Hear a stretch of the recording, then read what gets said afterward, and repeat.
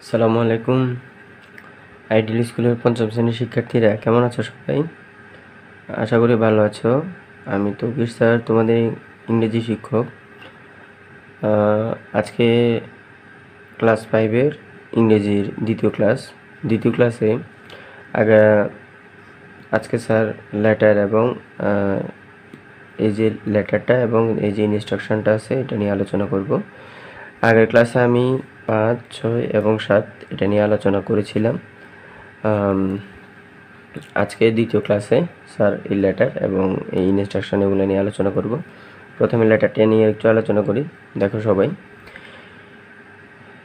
লেটারটা unseen passage থেকে দেওয়া হয় মেনলি আনসিন প্যাসেজের মূল যে আলোচ্য বিষয়, ওই আলোচ্য বিষয়গুলো অনুসারেই আনসিন প্যাসেজের লেটারটা দেওয়া হয়।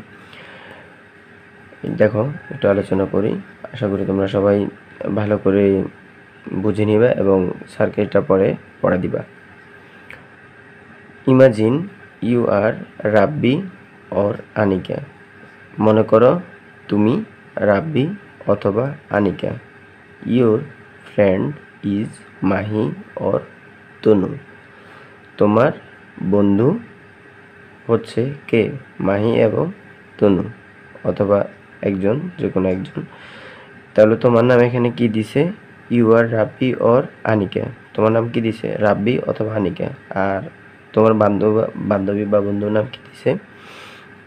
মাহি অথবা Tanu. You are a little doctor of your school তুমি তোমার বিদ্যালয়ের একজন খুদে doctor. Now write a letter to your friend about your activities as a little doctor এখন খুদে ডাক্তার হিসেবে তোমার কাজকর্মের কথা জানিয়ে তোমার বন্ধুকে একটি পত্র লিখো, ঠিক আছে? এটা হচ্ছে তোমার পত্রের মূল আলোচ্য বিষয় কি? তোমার কার্যক্রম, তোমার কাজ সম্পর্কে তোমার বন্ধুকে জানিয়ে এটা একটা পত্র লিখবা, কার কাছে? মাহি অথবা তনুর কাছে, ঠিক আছে? দেখো, এখানে লেটারটা দেওয়া আছে। লেটারটা নিয়ে আলোচনা করি, আসো। প্রথমে দেখো, এখানে যে ওর খাতার ডান পাশে উপরে যে, এই যে লেখাটা দেওয়া থাকে, KB road, Khulna twelve September two thousand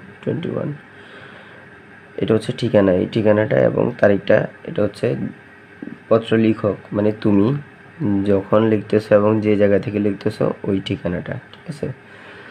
ওই ওই তারিখটা সহ এখানে দিছে। তোমরা এখানে ইচ্ছা করলে যে কোনো তারিখ দিতে পারো, সমস্যা নেই। আর এখানে নিউ রানীহাট ফেনী, এটাও দিতে পারো, কোনো সমস্যা নেই। অথবা ফেনী সদর, ফেনী এটাও দিতে পারো, ঠিক আছে? তা আমি শুরু করতেছি, এটা দেখো। ডিয়ার তনু ডিয়ার তনু প্রিয় Tanu at first take my love প্রথমে আমার ভালোবাসা নিও। হাউ আর ইউ এটা তুমি তোমার বন্ধুকে জিজ্ঞেস করতেছো, ঠিক আছে? তুমি কেমন আছো? আই এম ফাইন আমি ভালো আছি। You would be glad to know that I am a little doctor in my school তুমি জেনে খুশি হবে যে আমি আমার বিদ্যালয়ের একজন খুদে doctor. Today I will tell you about my activities আজ আমি তোমাকে আমার কার্যক্রম সম্পর্কে বলব। এই লেটারটার এখানে বাংলাটাও দেওয়া আছে। বুঝতে তোমাদের সুবিধা হবে। ঠিক আছে? একটু বাংলাটা সব ভালো করে পড়ে নিবা। I have to remain prepared to provide the primary treatment to the students of our school আমাকে আমাদের বিদ্যালয়ের শিক্ষার্থীদের প্রয়োজন অনুযায়ী আমাকে প্রাথমিক চিকিৎসা দেওয়ার জন্য প্রস্তুত থাকতে হয়। ঠিক আছে?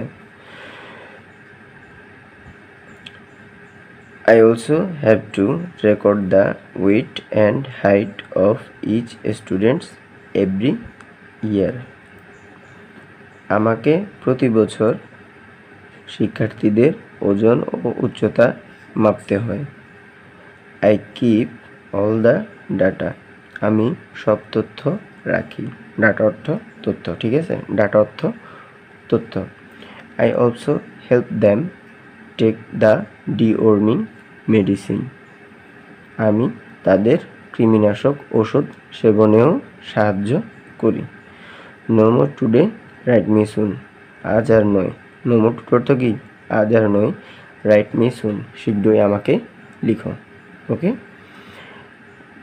your loving friend Anika তো, তোমার প্রিয় বন্ধু আনিকা এটা হচ্ছে তোমার পত্রটা। পুরোটা শেষ। এই শেষে তোমাকে বিদায় জানাইছে তোমার বন্ধু বা বান্ধবী আনিকা। ঠিক আছে? এই লেটারটা স্যারে বাংলা সহ পড়াই দিলাম, যাতে করে তোমরা ভালোভাবে বুঝতে পারো, ওকে? এবার দেখো দশ নম্বর ইনস্ট্রাকশন নিয়ে আলো- আলোচনা।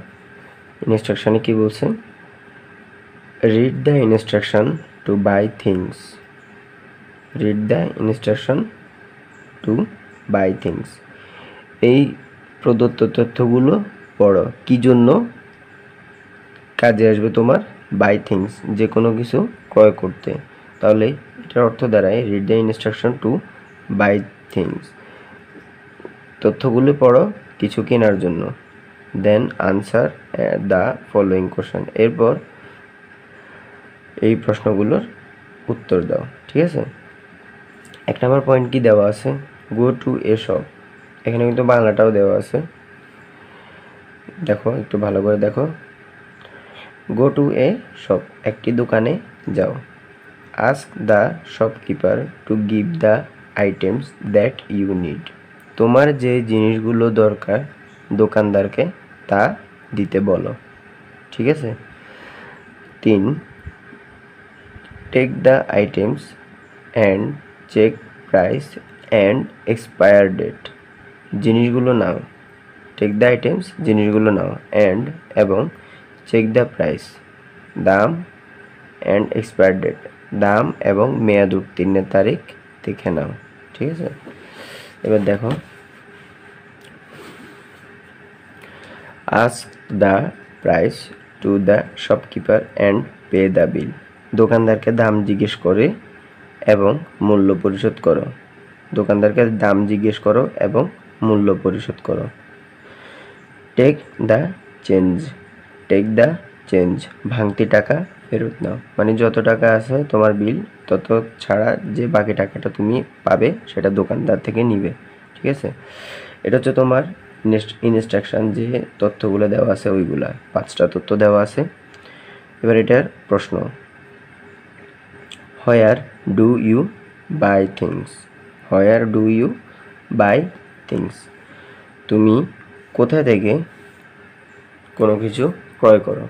কোথা থেকে কোনো কিছু ক্র- ক্রয় করো? এই যে দেখো, এ নাম্বার প্রশ্নের উত্তর। I buy things from the shop I buy things from the shop আমি দোকান থেকে কোনো কিছু ক্রয় করি। আমি দোকান থেকে কোনো কিছু ক্রয় করি।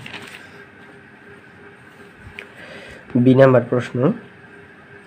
Why should we check expire date why should we check expire date কেন আমরা মেয়াদ উত্তীর্ণের তারিখ দেখে নিব?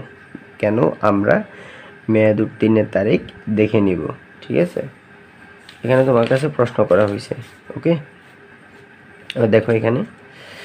We should check expire date to know the validity of the product we should check expire date আমাদের মেয়াদ উত্তীর্ণের তারিখ দেখে নেওয়া উচিত।